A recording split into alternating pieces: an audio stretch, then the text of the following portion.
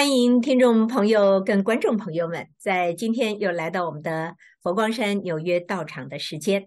今天在道场方面为我们安排了，邀请到了监院有灵法师来到我们的现场。欢迎听众朋友，我们一起欢迎有灵师傅，师傅吉祥，台长吉祥，各位听众观众朋友，大家吉祥。是。在今天呢，我已经知道要跟我们师傅在对话方面呢，师傅要跟我们开示的是“平常心”三个字。平常心，我们常常都听到的，但是师傅今天一定有特别的一些东西要跟我们的听众朋友一起分享，请师傅给我们开示。大家吉祥。呃，我们常常呢都有听到这个平常心，平常心对待哈。呃，不管我们世界上呢。发生很多的事啊，嗯，悲欢离合啦，很多的千奇百怪的事情啊，是。那或者是有很多不公不义的事哈，那很多时候呢，一般佛教徒啊都会说啊，好啦，你就用平常心来看待吧。在星云大师啊，呃，佛佛法真义里面有谈到哈，平常心啊。他其实就不是说没有是非啊，还是啊什么都不管呐。他其实平常心呢，有时候呢就是叫我们不要和人家太计较，哦，不要太过于认真，嗯，但是呢就是要大事化小，小事化无啊。嗯，那在讲到这个平常心，不要和不要和人太过计较，常常我们就是因为啊太在意我。和人太过于计较，那就变成自己活得很辛苦啊！哈，嗯哼，那当我们在跟别人计较的时候，嗯，往往呢，你会发现你自己的心呢，感觉也越来越小了，啊，因为在计较比较于哦，呃，多少分量是我的，哪一些才是属于我的哦？那再说不要太过于认真啊，这句话呢，呃，对我感触蛮深哦。嗯，我记得，呃，刚开始被呃，就是身为当当家的时候啊，就我的前主管啊，曾经呢有给我一个秘诀哦，他就说，你哦做事就是太认真呐。那我当时呢就愣了一下哈，就是太认真，你有错吗？哦，是是是。当时呢主管就说啊，你呀就是要认真，可是不要当真。要认真，不要当真。我当时一直都不明白，什么叫要认要认真，不要当真。是是，这到底是怎么样呢？那我就用了这几年来揣摩啊。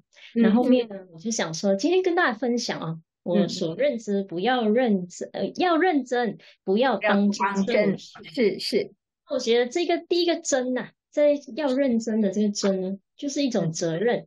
对对，那个信用还有一种承诺，嗯，那呃，也就是一种承担。好，我努力，我精进的，勇猛直前的，好去做好一件事情，嗯，想把每一件事情都给他，嗯，认真的做好。是。那后面讲说不要当真的时候呢，我会想啊，大概就是我在这个过程里面哦，或许会遇到。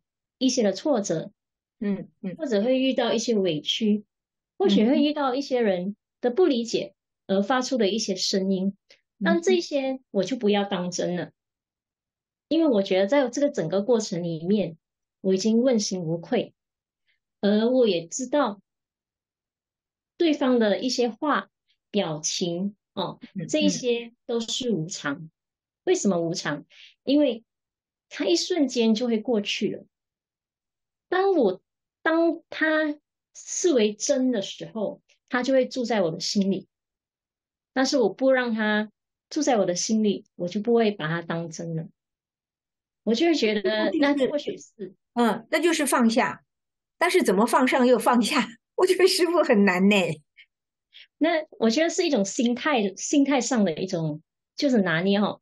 我们要怎么样？就是有时候，为什么刚开始说平常心，就是不要太计较。那如果我太计较于别人的语言、别人的一个眼神，嗯，好，别人的一个动作，嗯，那我就会一直都牢记在我的心里面，是他刚才对我怎么样，刚才对我怎么样。那当我不把它当一回事的时候，也就是不要把它当真的时候，嗯人家嗯也只是说说而已，一句话说了就过去了。可是为什么我要把那句话剪在我的心里，然后呢，让让那个话在我的内心里产生情绪？所以在这边呢，我们也要学会观因缘啊，哦，这个因缘随时都会改变，也就是无常啊，它不会常常在的，它是它说完就走了啊。那为什么我要把它收在心里？而且嗯我觉得这个真呐、这个不要当真的，这个真也是教我们怎么转念哦，就是负面的，我们要学会去转为正念，是是也就是不要把别人的一些情绪影响到自己的情绪。嗯，师傅是，我我我会这样觉得呢。但是你知道，我们大家都呃要上班呐、下班呐、啊，啊要对长官呐、对同事啊，对不对？但是有的时候难免会起争执，但是怎么可以用平常心来对待？我相信很多朋友一定会也一样跟我有这样子的一个问题，因为师傅你们是在庙里头啊，不会有有争执，可是我们在外面做事，我们就会有跟同事的接触啦，夫妻有夫妻之间的争执啦，面对孩子有孩子的问题啊，怎么办呢？师傅？像其实呃，刚刚台长说我们在庙里面哦，感觉上啊就是这样子平平常啊，很平淡哦。其实我们在平淡中也可以过得不平淡哦。哦，怎么说？真的，嗯，师傅还有不平淡这样子，每一天每一天都过得同样的是哈，就是嗯从早课哈到一天的一个作息。嗯那其实我们每天都有不同的事物，但是但，是当这些事物起来，有时候会跟啊互跟人家互动，互嗯。动这些往来的时候，也就是嗯我们在修行的时候，是。那或许会觉得啊，好像法师应该都没有什么哦，呃，但是我们都是人，或许我们也会遇到一些境界，是是。一是，些人的互动对话啊，嗯或许啊、会有一些冲突，但是嗯。或许我们在这个每天忙着在应对的时候，是。我们外在看的感觉是很忙哦，是。但是我们内心是很自在的。那这个也就是一个念头的关键点哦。嗯哼。因为大师在说平常心，哈、嗯。就是呢要有平和的心，要有平等的心，嗯。要有平均的心。嗯像刚刚台长在问的，在家庭、事业、亲友，哦，我们要怎么样过得面对的平常心？他不只是说放下这些执着而已，嗯。执着或者是这个计较比较的心。嗯而是我们要有一种雅量，哦，要有忍辱，要有慈悲，好、尤其在公司、在家庭，哈、我们都可以想说，以顾全大局为重。嗯嗯嗯哼嗯当我们顾全大局的时候，就有无我的一种精神；当有无我的时候，我们就没有对立；当没有对立的时候，你就会觉得没有什么事需要去计较比较的。那也就是以平常心去看待。那平常心它不是消极的，它不是叫你放下，而是在一种心态上，嗯它的一种力量、一种智慧，他或许是忍辱，哦，像刚才说的一种雅量，一种平等嗯的是一种心量，嗯，而且我觉得背后也蕴含了很多的智慧与慈悲。是。那师傅，我有一件事情想请教一下。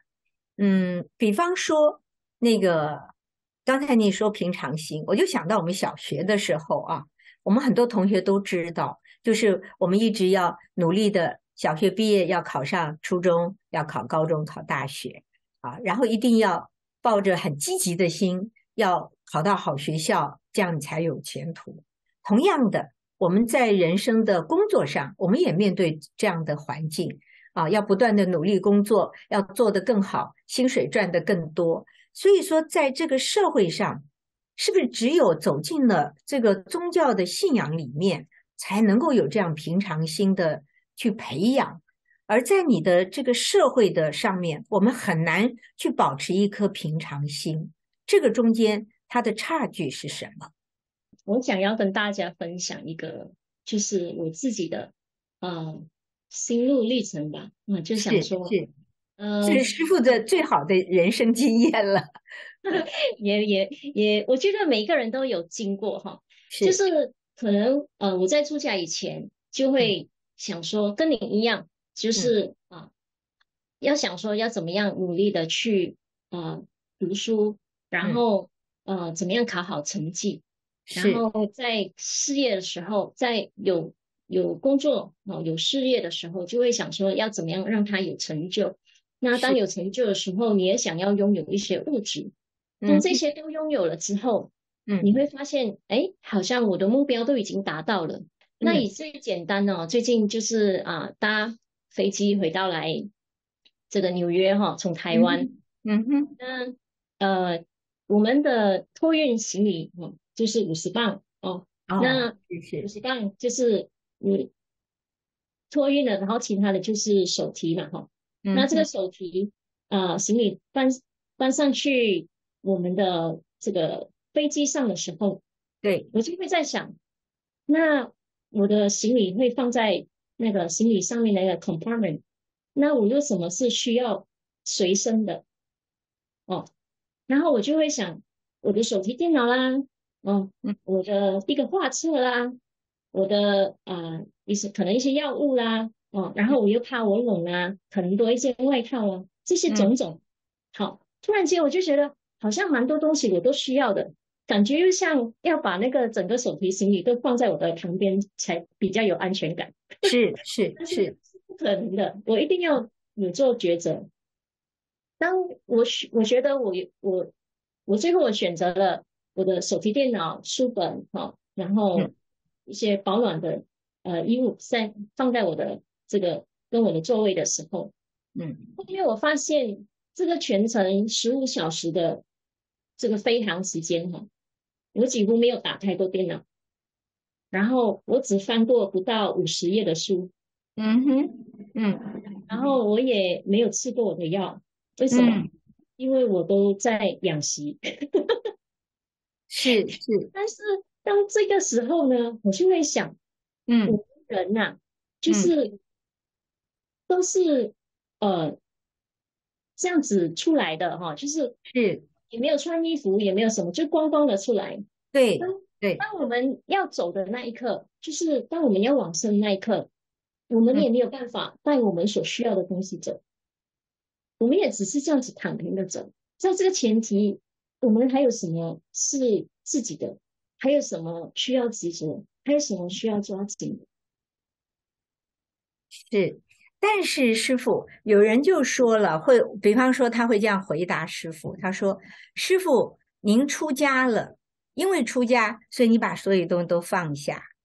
但是呢，对很多的，比方说学生，他想要去要考好的大学，将来有最好的事业。”所以他一定要拼命的为自己争取好的分数，进好的大学，保障他的未来会走上一条很好的路。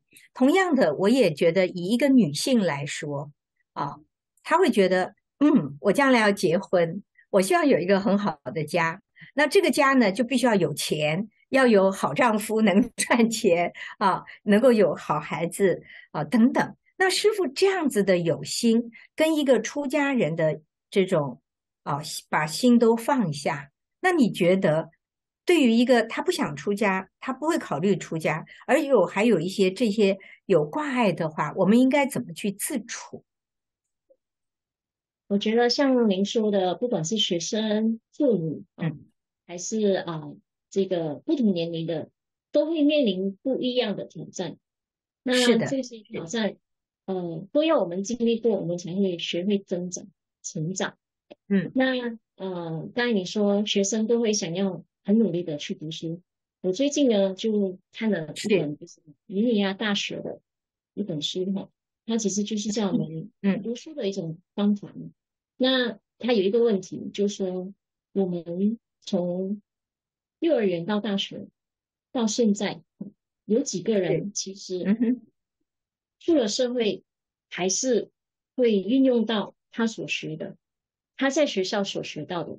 嗯，那这个米亚大学的这个呃主要啊，它的内容就是要跟我们分享哦，就是我们在他要教教我们的，就是我们在社会上，我们在。这个职场上会面对的一些问题，我们怎么去应对？在我们怎么去应对的时候，也同样我会觉得用我们佛教的角度来说，就是嗯，有佛法就有办法。那对，在平常心三个字里面，但是我们刚才有跟大家分享，幸运大师在讲平常心，它不只是说放下，它不是一种消极，什么都不管，什么都不要。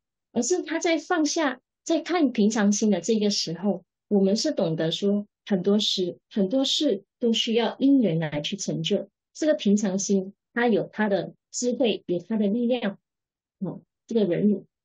那所以我觉得，嗯，不管是这个学生、妇女哦，或者是啊先生，呃，我们在经历的这些每一件事情，我们在心态上。嗯，呃对，怎么去调整？怎么去看？怎么去看破？嗯，怎么去学会不紧抓这一样事情？就是不去执着。所以，师傅像这种平常心，是不是一个修习这个佛教的一个必备的条件？比方，有些人就说。我我我很难让自己静下来，我也很难面对一个平凡的生活。我总是希望明天啊赚更多的钱，要嫁更好的人啊，或者说我希望有个更好的事业。呃，有的时候他们会觉得说，哦，你你都不是很积极，用“积极”这两个字来代替这种平常心，就是说我们要更积极一点，对自己的人生要负责。甚至我都想起来，我在小时候。我我我若没考一百分，我爸爸会很生气。他说：“你都不好好念书，你不够积极。”这两个字。那师傅今天，呃，这一话一说，你看我都六十岁都过了，但是我经常会想到，我父亲常常说，你必须要积极的过你的人生。那么师傅从这个角度来看，对现代人来说，他怎么样可以在？积极跟这种平常心当中，能够取到一个平衡的这种想法跟态度。我想这个积极，也就是嗯，刚刚在跟大家分享的，就是要认真，但是不要当真。哦，认真不要当真。嗯，对，在认真里面，刚刚有提的，它也是一个责任，也是一个精进，也是一个忍辱的一种力量。嗯，那。不要当真，就是嗯，当我们遇到挫折的时候，就是觉得沮丧，然后不理的，而是我们以平常心的去看，哦，这这个就是我们的人生的一个经历，是我们的一个经验，我们跨越了那个智慧。师父在说的平常心的，也是在说平等，平等也涵括在于平常心里面。其实平常心是有积极啊，也是要有积极的力量啊。师傅，这种积极是一种压力。那积极不是他的积极是压力，可是我们知道，嗯，我们懂得怎么去拿捏，怎么懂得去中道。像我们吃的太多，肚子会撑啊，会胀啊。对对对。但是当我们施很多压力给自己的时候，你会觉得那个是一种积极力，可是你的身体符合不了。但是，当我们转一个念头，我们想，哦，我尽了力，我以平常心，我不计较他后面的成败。你的心态一转的时候，你的整个磁场和力量就不一样。是是。所以呢，那个师傅，那是不是一个宗教？比方说，像佛教，像佛光山啊，作为一个这个。成为他的一个信徒的同时，在某种程度上会让我们在人生的道路上会更平顺，让我们可以保持一个谦虚而平常的心态来面对世事的无常。是，我觉得像星云大师给我们的“有佛法就有办法”哦。哦，对，是是，对他也就是嗯，他什么是有佛法？跟我让我们在跟人家处事的时候啊，应对的时候，我们有圆融，嗯，我们学会说好话，嗯，做好事，做好事，存好心，这些就是佛法。当我们受到委屈，我们有忍辱的力量，这个也就是佛法。嗯嗯，那当我们有这个佛法，我们有力量，我们就可以找到更多的方法，那就是办法。是是，我想今天我们跟师傅的一个对谈，这有佛法就有办法，有办法就有方法。我我觉得今天这几句话呢，希望听众朋友把它记下来，我们的观众朋友把它记住，因为我们来到海外。我们面对的是一个完全不同的生活方式，面对的是一个完全不同的国度，面对的是一个完全不同的文化，甚甚至在思想方面，我们要很感谢佛光山的星云大师，让佛光山啊在纽约有一个道场啊，这是相当不容易的。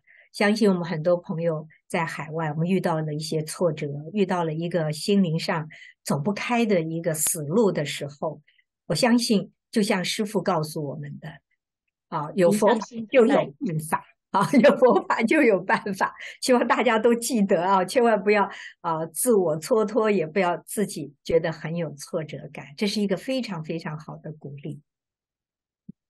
也欢迎大家莅临我们纽约道场哈位于 Flushing，嗯嗯啊，那我们遇到事的时候，嗯，尝试以以平常心来去面对。平常心，它不是消极的，呃，它也是积积极的。嗯，我们大家共同努力，祝福大家不会增长。谢谢师傅。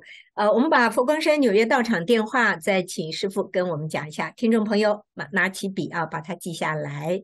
他的电话是几号？